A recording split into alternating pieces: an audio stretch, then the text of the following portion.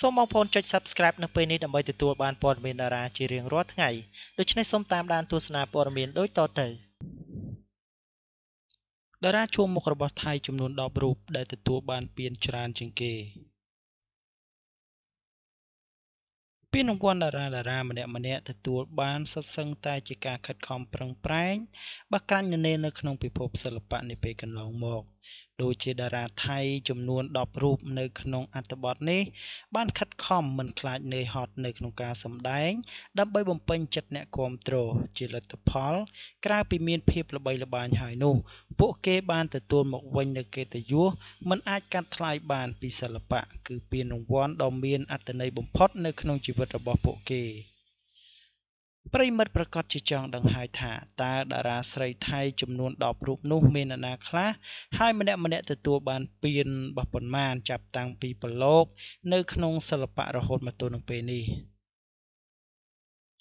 បាទទី1តកតងទៅនឹងតារាសម្ដែងស្រីដ៏ល្បីល្បាញបាទរបស់ប្រទេសថៃគឺកញ្ញាយ៉ាយ៉ាយូរ៉ាសាយ៉ាបន្ទាប់ពីឈានជើងប្រឡូកនៅក្នុងពិភពសិល្បៈ ថៃអស់រយៈពេលជាង6ឆ្នាំ យ៉ាយ៉ាទទួលបានពានរង្វាន់ចំនួនចំនួន67ពានបានអញ្ចឹងយ៉ាយ៉ាក៏ទទួលបាន67ពានឯណោះ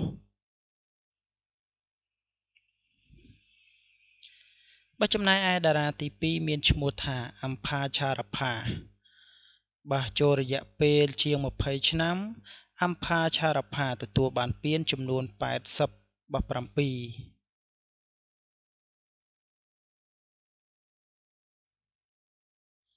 ចំណែកឯតារាសម្ដែងទី3គឺអានីថំផាកបថុងប្រាសាំបើគាត់ទទួលបានពានបើសម្រាប់តារាជើងចាស់សម្រស់មិនចេះអន់ថយអានីបើបានបញ្ជ្រាបចូលខ្លួននៅក្នុងពិធីសិល្បៈ25ឆ្នាំមកហើយនឹងទទួលបានពានរហូតដល់85ពានឯណោះ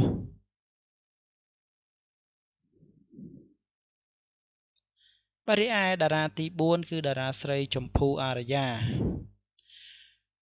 ម្ដាយកូនភ្លោះរូបនេះវិញទទួលបានឱកាសបើអោបបានពានដែលអាចដណ្ដើមបានរហូតដល់50នៅក្នុងរយៈពេល19ឆ្នាំដែលចូលប្រឡូកនៅក្នុងពិភពសិល្បៈ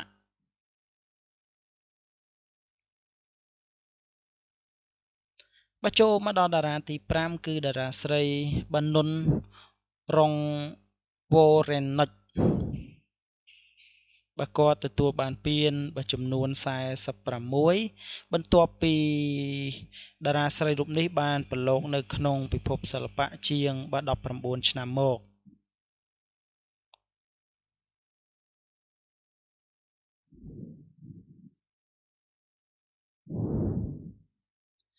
បើចំណែកឯតារាទី6គាត់មានឈ្មោះថា អឺផុកលុកដែលគាត់ទទួលបានពានរហូតទៅដល់45 43ពានបាទរយៈពេល8ឆ្នាំបាទអញ្ចឹងសិតសឹងតែជាតារាដែលមានឈ្មោះបោះសម្លេងបាទចំណែកឯតារាទី7មានឈ្មោះថាខ្វាន់យូសាម៉ានីបាទគាត់ទទួលបានពាន រហូតទៅដល់41បាទរយៈពេលនៃការប្រឡូកសិល្បៈរបស់គាត់ គឺបោះប្រឡូកចំនួន23ឆ្នាំទៅហើយដែលខ្វាន់បានតស៊ូនៅក្នុងពិភពសិល្បៈមិនរៀថយនោះទេបើទោះបីជាពេលខ្លះនាងក៏បានធ្លាក់ទឹកចិត្តក៏ដោយបាទបន្ទាប់មកទៀតគឺតារាស្រីបាទី8គឺតារាស្រីម៉ៃដាវិកា តារាវ័យក្មេងសម្រស់បានរូបនេះបានពានរង្វាន់នៅក្នុងដៃចំនួន22ហើយក្រោយពេលដែលឈានជើងចូលប្រឡូកសិល្បៈរយៈពេល8ឆ្នាំបណ្ដឹងតារាទី9មានឈ្មោះថា Ploy Bachman បើសម្រាប់ Ploy ទទួលបានពានចំនួន41ក្រោយពេលដែលប្រឹងប្រែងប្រឡូកនៅក្នុងសិល្បៈជាង23ឆ្នាំ បើចំណែកឯតារាទី10ដែលជាតារាចុងក្រោយ គឺមានឈ្មោះថាថៅណាត់ថាផុនបន្ទាប់ពីឈានជើងប្រឡូកអស់រយៈពេល11ឆ្នាំតារាស្រីរូបនេះទទួលបានពានរង្វាន់ចំនួន15បាទដូច្នេះហើយនេះគឺជាពានរង្វាន់ដែលតារាស្រីបានទទួលបាននៅក្នុងព្រឹត្តិការណ៍ផ្សេងផ្សេងដែលជាការប្រគល់ពានសម្រាប់តារាដែលឆ្នើមនៅក្នុងប្រទេសថៃ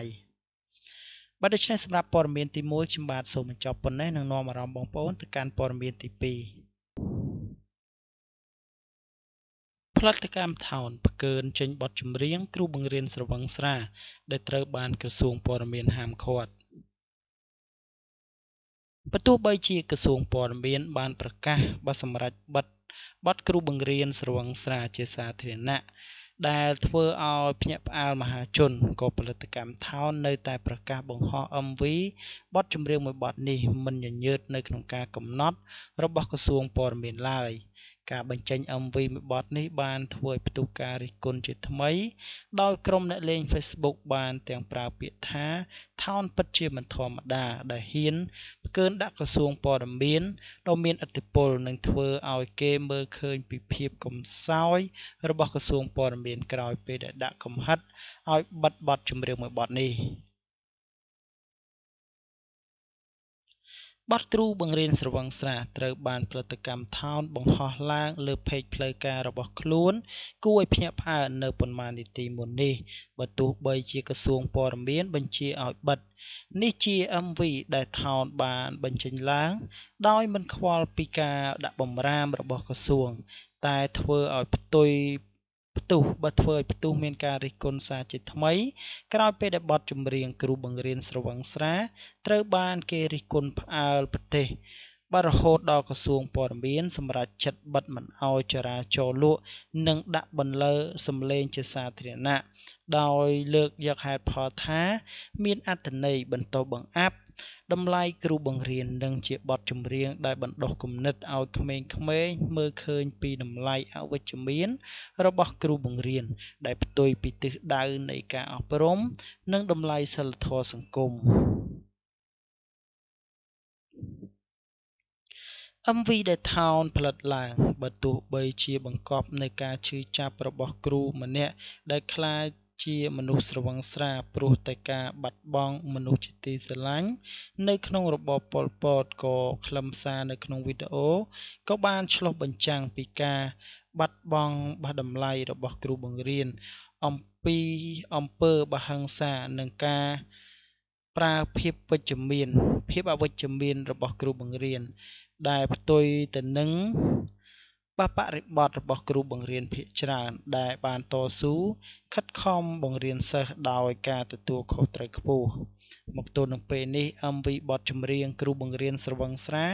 ត្រូវបានអ្នកលេង Facebook ចោទថាគឺជាការផ្កើនផង និងខោកក្បាលក្រសួងព័ត៌មានផង បន្ទាប់ពីក្រសួងចេញច្បាប់មិនអោយបង្ហោះបទនេះ និងធ្វើចរាចរណ៍លក់ឡើយ។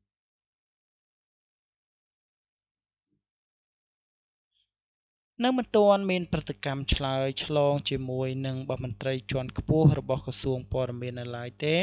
ខណៈពេលដែលមហាជនកំពុងតែមើលពីចំណាត់ការរបស់ក្រសួងសារជាថ្មី ដើម្បីកុំឲ្យបាត់តម្លៃរបស់ក្រសួងព័ត៌មានត្រូវបានមហាជនរិះគន់បើយ៉ាងណាមិញលោកករណាពេជ្រអ្នកគ្រប់គ្រងថ្មីរបស់ផលិតកម្មថោននៅតែអះអាងថាបទនេះមានការអប់រំច្រើនជាងរិះគន់តែ គេមិនទាន់ដឹងថាហេតុអ្វីបានជាថោនមិនខ្វល់ពីការរិះគន់ ហើយផ្កើនសម្រាប់បះក្រសួងបែបនេះឡើយ។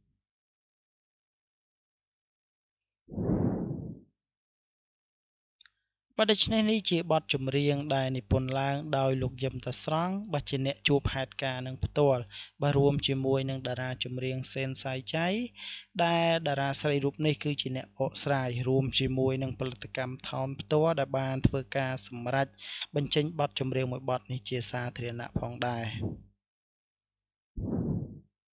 បាទដូច្នេះហើយយើងក៏មិនទាន់ដឹងដែរថាតើក្រសួងការទៅលើផលិតកម្មថោនឬក៏មានការចរចាគ្នាហើយឬក៏យ៉ាងណានោះទេ បើពុំដូច្នេះទេក៏ផលិតកម្មថោនមិនហ៊ានក្នុងការបញ្ចេញបទចម្រៀងមួយបទនេះផងដែរនេះក៏ដោយសារតែ មានការអនុញ្ញាតពីក្រសួងព័ត៌មានឬក៏បាសស្ថាប័នពាក់ព័ន្ធណាមួយហើយ បាទដូច្នេះសម្រាប់ព័ត៌មាននេះផងដែរខ្ញុំបាទសូមបញ្ចប់តែប៉ុណ្ណេះបាទសូមអរគុណរាល់ការតាមដាននិងការចុច Subscribe របស់បងប្អូនទាំងអស់គ្នា